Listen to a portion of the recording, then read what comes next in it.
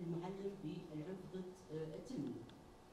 آه، بداية هي آه، من صغر أصلا تعرض إلى الإحباط، تعرض إلى العدوان، بداية من الأسرة، ضغوط المدير، عدم وجود الوظيفي في المدرسة، أيضا البيئة التعليمية داخل الفصل، قد يكون الفصل هذا ضيق، ضيق المساحة التلميذ.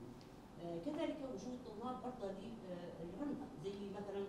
اولا أشكر تواجدكم وحضوركم معنا لتغطية هذا الحدث آه، الرائع في مدينة البيضاء الذي يقام لأول مرة.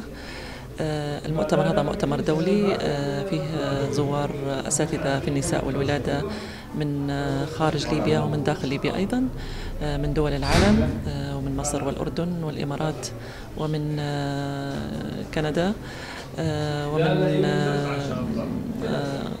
ليبيا آه، في بجميع أنحائها يعني.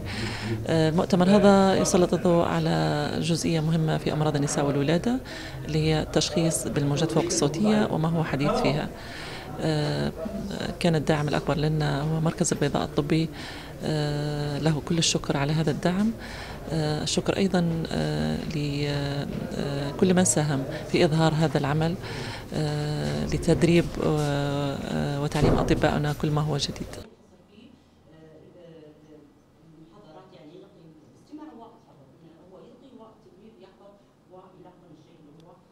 تم اليوم تنظيم الحملة لمناقشة آه، موضوع العنف ضد الأطفال آه، من من عدة جوانب من جانب علم النفس وعلم الاجتماع والتخطيط ودور الإعلام في كيف أن نساهم في المحاربة والقضاء على هذه الظاهرة بما أنها ظاهرة منتشرة خصوصا في الفترات الأخيرة زاد العنف آه، على الطلبة. فنحن نحاول أن نح- نحدوا من هذا الموضوع وأن نوعوا في نفس الوقت الناس من القوانين اللي على العنف. لأن الناس مش عارفة أن لو طالب تعرض للعنف من قبل المعلم أن في قانون يحده وقانون يوقفه.